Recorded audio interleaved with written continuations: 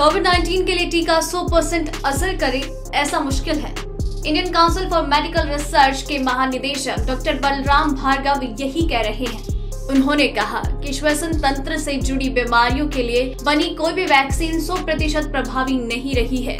Doctor Bhargava के अनुसार 50 से 100 प्रतिशत असर वाली कोविड वैक्सीन को इस्तेमाल की मंजूरी दी जा सकती है। डॉक्टर भार्गव का बयान भारत के drug regulator Central Drugs and Standard Control Organisation DSCO के कोरोना वैक्सीन को लेकर जारी ड्राफ्ट गाइडेंस नोट के ठीक एक दिन बाद आया। सी ने सुझाया है कि रिसर्चर्स किसी वैक्सीन कैंडिडेट की संक्रमण से बचाने की क्षमता भर ही ना देखें। वो ऐसी वैक्सीन चुने जो गंभीर इन्फेक्शन होने से रोके। ऑक्सफोर्ड यूनिवर्सिटी की वैक्सीन ने शुरुआती ट्रायल में उम्मीद जगाई है। वैक्सीन इम्यून रिस्पांस ट्रिगर करने में सफल रही। आईसीएमआर के अनुसार, भारत में बनी वैक्सीन भी असरदार साबित हो सकती है, क्योंकि उनका कंपोजिशन आसान है और सेफ्टी सुनिश्चित की गई है। भारत में इस वक्त तीन वैक्सीन ह्यूमन ट्रायल से गुजर रही है।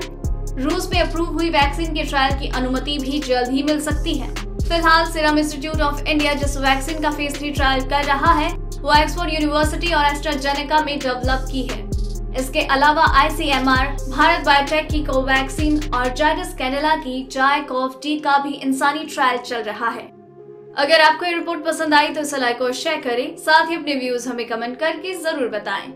डेली ट्रेंडिंग न्यूज़ की रिपोर्ट सब्सक्राइब करें हमारा चैनल ऐसी ही लेटेस्ट और इंटरेस्टिंग न्यूज़ के लिए।